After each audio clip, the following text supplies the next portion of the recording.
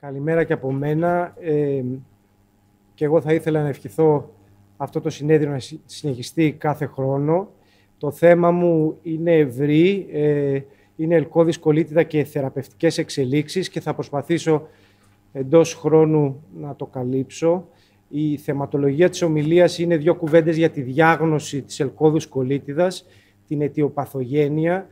Η κυρίως ομιλία είναι η θεραπευτική αντιμετώπιση και στο τέλος τα συμπεράσματα. Όπως γνωρίζουμε όλοι, η ελκώδης κολίτιδα είναι μια χρόνια φλεγμονώδης πάθηση του εντέρου που προσβάλλει το παχύ έντερο κατά συνέχεια ιστού. Είναι πάθηση των αναπτυγμένων χωρών ε, λόγω της δίαιτας ε, που ακολουθείται στη Δύση ε, και άλλων παραγόντων. Η διάγνωση σε νεαρότερη ηλικία συνήθως σημαίνει πιο επιθετική νόσο και αν και δεν σκοτώνει, σίγουρα επηρεάζει την επαγγελματική δραστηριότητα και την ποιότητα της ζωής. Η διάγνωση είναι ένα συνοθήλευμα πολλών πραγμάτων, συμπτώματα, όπως βλέπετε σίγουρα πόνος στην εσμός, ενδοσκοπικά ευρήματα με βιοψίες που ταιριάζουν με τη διάγνωση και ένας αρνητικός έλεγχος, έλεγχος λοιμόξεων. Δεν υπάρχει παθογνωμονική εξέταση ε, για, τη, για τη διάγνωση της ελκόδους και όσο αφορά στην αιτιοπαθογένεια από κάτι γενικό όπως βλέπετε ε, που υπήρχε στις προηγούμενες, στα προηγούμενα χρόνια υπάρχει κάτι πάρα πολύ πιο ειδικό και έχουν αποκρυπτογραφηθεί τα μονοπάτια της φλεγμονής και ως εκ τούτου έχουν προκύψει πολλά καινούργια φάρμακα. Ποιος είναι ο στόχος της θεραπείας; Ο στόχος της θεραπείας έχει αλλάξει. Και ενώ στην αρχή ο στόχος μας ήταν ο ασθενής να μην έχει διάρειες και μοραγία, να, μην, να υπάρξει ύφεση της νόσου χωρίς κορτιζόνη, τώρα πλέον με αυτό το treat του target υπάρχουν συγκεκριμένοι στόχοι που είναι η βλενογονική επούλωση και πολύ σημαντικό ρόλο παίζει τι λέει ο ασθενής και πώς αισθάνεται. Και ίσως κάποια στιγμή φτάσουμε και στην ίαση. Όπως βλέπετε, περνώντας τα χρόνια, υπήρξαν αρκετά φάρμακα στην αρχή, αλλά πολύ περισσότερα και πολύ πιο ειδικά και πολύ πιο ακριβά τελευταία. Και πώς τα δίνουμε, υπάρχει μια θεραπευτική πυραμίδα που υπάρχουν επιχειρήματα για το να αρχίσει κάποιος από χαμηλά και να όσο είναι ήπια η νόσος και να ανεβαίνει όσο είναι πιο βαριά η νόσος, αλλά υπάρχουν και επιχειρήματα να αρχίζει λίγο πιο ψηλά στην πυραμίδα. Για να αποφασίσουμε τα φάρμακα πρέπει να ξέρουμε ποιος είναι ο ασθενής, ποιο είναι το προφίλ της νόσου, να αποφασίσουμε πότε θα αρχίσουμε τη θεραπεία, ποιες είναι οι θεραπευτικές επιλογές και πώς αξιολογούμε την επιλογή αφού αυτή έχει γίνει. Και όσο αφορά στο ποιος είναι ο ασθενής, σημαντικό ρόλο παίζει η ηλικία του, και οι προτιμήσεις του και διάφοροι άλλοι παράγοντες, όπως η δυνατότητα πρόσβασης σε νοσοκομείο για τα ενδοφλέβια σχήματα. Στο ποιος είναι ο ασθενής, υπάρχουν φάρμακα που αν ο ασθενής είναι πάνω από 65 χρονών πλέον δεν τα δίνουμε. Ή αν είναι πάλι μεγάλο σε ηλικία, αυξάνεται αρκετά ο κίνδυνος των λοιμόξεων και θα πρέπει να είμαστε επιφυλακτικοί. Το προφίλ της νόσου που είπαμε και αυτό πρέπει να καταγραφή. Είναι η κατανομή, η κατανομή της νόσου που μπορεί να είναι περιορισμένη προκτήτηδα, αριστερή κολίτιδα ή εκτεταμένη πανκολίτιδα και αυτό επηρεάζει και την επιλογή αλλά και τον τρόπο χορήγησης. Σε σχέση με τη βαρύτητα που είναι ένα πολύ σημαντικό στοιχείο στο προφίλ της νόσου υπάρχουν διάφορα σκόρα αρκετά ε, περίπλοκα ε, τα οποία καθορίζουν με ακρίβεια τη βαρύτητα. Τώρα πότε αρχίζουμε; Υπάρχουν καινούργιες φωνές στα γαστεντερολογικά συνέδρια και στα συνέδρια φλεγμονωδών παθήσεων που αρχίζουν να μιλάνε για θεραπεία πριν καν την κλινική εμφάνιση της νόσου. Ε, και βεβαίως πρέπει να αρχίσουμε το δυνατόν πριν αρχίσουν οι επιπλοκές από την νόσο, δηλαδή αφού αρχίσουν τα συμπτώματα πριν αρχίσουν οι επιπλοκές, αλλά αρχίζουν να υπάρχουν φωνές ακόμα και πριν από την εμφάνιση των συμπτωμάτων και υπάρχουν διάφορες μελέτες που κοιτούν αν μπορούν να υπάρξουν κλινικοί δείκτες ώστε να προβλέψουμε ποιος θα εμφανίσει την νόσο πριν εμφανίσει τα συμπτώματα. Αυτή είναι μια μεγάλη μελέτη από τον Καναδά με πρώτου ε, βαθμούς συγγενείς ε, ανθρώπων που έχουν ε, φλεγμονώδεις παθήσεις του εντέρου, νόσο κρόν και ψάχνουν να βρουν πότε θα εμφανίσουν και ε, ποιοι είναι οι παράγοντες που θα επηρεάσουν την εμφάνιση. Όταν έχουμε βαριά ελκώδη κολίτιδα είναι εύκολα τα πράγματα, είναι η κορτιζόνη και είναι και το εμφλίξιμα. Τα υπόλοιπα δεν έχουν πολύ θέση και ξέρουμε από παλιά ότι η κορτιζόνη είναι αποτελεσματική στα δύο τρίτα των ασθενών. Υπάρχουν, υπάρχει ένα ποσοστό θνητότητας και οι πολύ μεγάλες δόσεις πέρα από ένα όριο δεν έχουν καμία σημασία. Και αυτή είναι η πρώτη μελέτη, οι πρώτες δύο μελέτες, η ACT, οι οποίες τρόπον την καθιέρωσαν το, το Remicade σαν θεραπεία επαγωγής και διατήρησης της ύφεσης και βλέπετε εδώ τα διάφορα νούμερα για 5 και 10 μιλιγκράμμ ανά χιλιόγραμμο βάρους.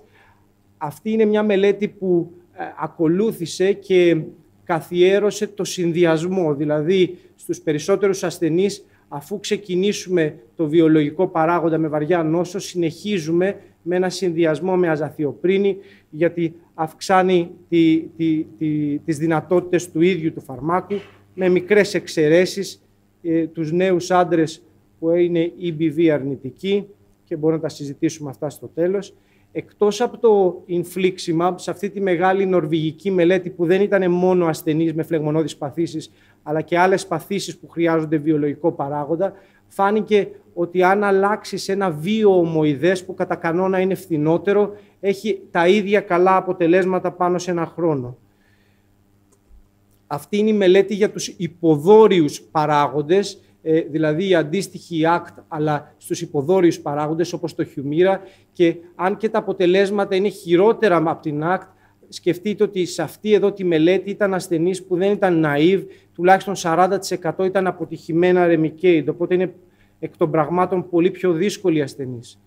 Και σας ξανάφερα αυτό το slide το πολύπλοκο για να σας δείξω ένα πιο καινούριο βιολογικό παράγοντα, ο οποίος εμποδίζει τη μετανάστευση των λεμφοκυτάρων, το οποίο είναι πολύ σημαντική, σημαντικά κύτταρα στη φλεγμονή και όπως βλέπετε τα λεμφοκύτταρα πρέπει να γατζωθούν για να περάσουν και να δημιουργήσουν στο τείχομα του εντέρου τη φλεγμονή και το εντίβιο εμποδίζει ακριβώς αυτή τη συνένωση και αυτή ήταν η πρώτη μελέτη που το ανέφερε για τη μετανάστευση των λεμφοκυτάρων και ο, ο μηχανισμός δράσης όπως το λεμφοκύτταρο έχει κάποιους υποδοχείς, πάει το φάρμακο, μπλοκάρει όλους αυτούς τους υποδοχείς και έτσι δεν το αφήνει να γατζωθεί με το εντερικό τείχομα και να προκαλέσει τη φλεγμονή. Η, η μελέτη που καθιέρωσε αυτό το καινούριο φάρμακο, το βεντολίζωμα, είναι η Gemini, η οποία βλέπετε τα νούμερα. Αυτή είναι placebo control, διπλή τυφλή μελέτη και καθιερώνει τρόπον τεινά το βεντολίζωμα σαν μια καλή επιλογή για ε, μέτρια προς βαριά ελκώδη-κολίτιδα.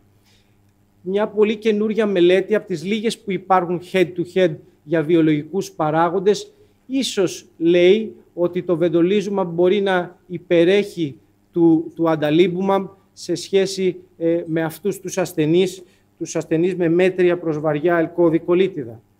Και πάμε στα μικρά μόρια, ακόμα πιο καινούρια. Αυτά τα μικρά μόρια είναι φάρμακα από το στόμα, τα οποία ακόμα δεν έχουν καθιερωθεί. Το πλεονέκτημά τους υπάρχει, έχουν ενδοκιτάρια δράση. Ένα μεγάλο πλεονέκτημα είναι ότι έχουν πολύ περιορισμένη αντιγονικότητα, άρα δεν αναπτύσσει ο οργανισμός αντισώματα, έτσι ώστε να χάνουν τη δράση τους. Και υπάρχουν τα, οι, οι JAK ε, inhibitors και οι CYP inhibitors. Ε, υπάρχουν και άλλα. Ε, και ξαναδείχνω αυτό το slide για να σας δείξω ότι πλέον αυτά τα φάρμακα δρούν ενδοκυτάρια σε αυτό εδώ το μονοπάτι της φλεγμονής που λέγεται JAK-STAT, το οποίο ε, διάφοροι προφλεγμονώδεις παράγοντες παράγονται μετά από αυτό. Και αν το μπλοκάρει το φάρμακο σταματάει. Και οι μελέτες που τρόπον την αφαίρνουν το, το ε, στην, ε, στη φαρέτρα μας είναι η Octave 1 και 2 και η Sustain για την ε, διατήρηση της ύφεσης και είναι βέβαια πιο αποτελεσματικό από το πλασίμπο και στην κλινική ύφεση και στη βλενογονική επούλωση, αλλά φαίνεται ότι υπάρχει ένας σημαντικός κίνδυνος λοιμόξεων, ε, έρπιτα ζωστήρα, ακόμα και καρδιαγγειακών ε, συμβαμάτων. Και ένα δεύτερο φάρμακο το, είναι το οζάνιμπομπ, το οποίο ε, δρά πάλι στα λεμφοκύτταρα και στη μετανάστευση των λεμφοκυτάρων και τα εμποδίζει να φύγουν από τους λεμφαδένες και να φτάσουν τελικώς στο έντερο και αυτό έχει καλύτερα, όπως βλέπετε, ε, αποτελέσματα από το πλασίμπο, αλλά και αυτό έχει καρδιαγγειακές και υπατικές συνέπειες και όλα αυτά μένουν να φανούν πόσο αποτελεσματικά θα είναι. Δύο κουβέντες για την εναλλακτική ε, θεραπεία. Και υπάρχουν πάρα πολλοί λόγοι για τους οποίους οι ασθενείς μας έρχονται και λένε ότι χρησιμοποιούν εναλλακτικά φάρμακα, αλλά εγώ νομίζω ο κύριος λόγος είναι ότι αποτελεί μια τεράστια βιομηχανία. 38 δισεκατομμυρίων δολαρίων κατέτος ε, και το πιο, το πιο έτσι, hot φάρμακο σε εισαγωγικά είναι η κάναβης που υπάρχει σε διάφορα συνέδρια για το πόσο μπορεί να βοηθάει στις φλεγμονώδεις παθήσεις του εντέρου και φαίνεται ότι δεν βελτιώνει τα, τη φλεγμονή, αλλά βελτιώνει κάποια από τα συμπτώματα ίσως. Τώρα, κλείνω με αυτό, πώς αξιολογώ τη θεραπεία και είναι έτσι πολύ σημαντικό, πρέπει εξ αρχής, μόλις επιλέξουμε την όποια θεραπεία επιλέξουμε από αυτές που σας έδειξα, να θέσουμε ξεκάθαρους στόχους. Δηλαδή, ποιος είναι ο στόχος της θεραπείας, τι προσμένουμε ε, και πώς θα τον κοιτάμε. Και κοιτάμε, μπορούμε πλέον να κοιτάξουμε και την επάρκεια του φαρμάκου, επίπεδα και αντισώματα. Και αυτό μπορεί να γίνει είτε με έναν τρόπο proactive, δηλαδή ο ασθενής να είναι καλά και εμείς να πούμε να μετρήσουμε τα επίπεδα του φαρμάκου ή και τα αντισώματα για να δούμε αν είναι καλά, γιατί έτσι θα ήταν καλά, ή γιατί το φάρμακο είναι που τον κάνει καλά. Και σε έναν τρόπο reactive, δηλαδή άπαξ και ο ασθενής αρχίσει να έχει συμπτώματα, τότε να ελέγξουμε επίπεδα και αντισώματα, έτσι ώστε να δούμε αν χρειάζεται να αλλάξουμε ή όχι φάρμακο. Και οι βιοδείκτες που χρησιμοποιούμε για να αξιολογήσουμε τη θεραπεία είναι η γνωστή καλπροτεκτίνη κοπράνων και η CRP στο αίμα. Έχει φανεί σε μελέτες, αυτή είναι για το Remicade, ότι αν διατηρούνται ε, επίπεδα στο αίμα σε αυτά εδώ τα επίπεδα, είναι το φάρμακο πολύ πιο αποτελεσματικό. Συμπερασματικά και κλείνω. Οι ασθενείς με φλεγμονώδη νοσήματα του εντέρου έχουν σύνθετα κλινικά προβλήματα που απαιτούν λεπτούς θεραπευτικούς χειρισμούς. Η ταχεία βελτιστοποίηση της θεραπείας είναι η πλέον συνήθις πρακτική της φλεγμονώδης παθήσεις του εντέρου. Οι φαρμακευτικές ε, επιλογές, όπως σας έδειξα, είναι πολύ περισσότερες, αλλά δεν είναι ατελείωτες και αυτό πρέπει να το σκεφτόμαστε πριν πούμε ότι ένα φάρμακο δεν δουλεύει και θα αλλάξουμε στο επόμενο. Θα πρέπει να επιλέγονται μετά από συστηματική καταγραφή της νόσου, χαρτογράφηση του εντερικού σωλήνων, θέτοντας εξ αρχής συγκεκριμένους θεραπευτικούς στόχους και είναι η απαραίτητη, η περιοδική, η απαραίτητη η περιοδική αξιολόγηση του ασθενούς αλλά και του φαρμάκου με τον τρόπο που σας έδειξα. Ευχαριστώ πολύ.